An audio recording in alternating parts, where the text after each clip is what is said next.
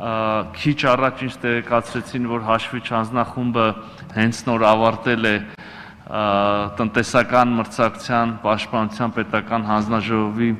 անդամի ընտրության արդյունքների ամփոփումը եւ ես արդյունքները ներկայացնելու համար ամբիոնի մոտ եմ հրավիրում հաշվի չանձնախմբի նախագահ Վագն Հովակիմյանին։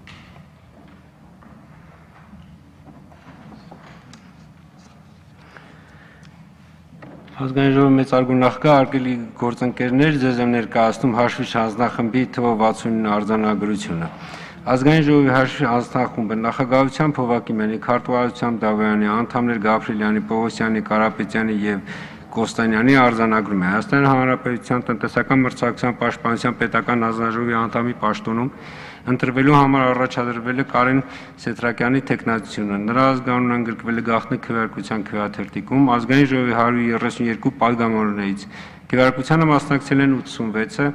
բացելով գաղտնի քվեարկության քվեատուփը հաշվի հանձնախումբը բարձրացրեց։ Քվեատուփում արկա էր 86 քվեաթերթիկ, որոնցից որևէ մեկը անվավեր չի ճանաչել իսկ ձայների բաշխվածությունը այսպեսին է կողմ 80 դեմ 6 Այսպեսով որոշումն ընդունվել է։ Շնորհակալություն պարոն Հովակիմյան, շնորհավոր ենք ընտրված անդամին։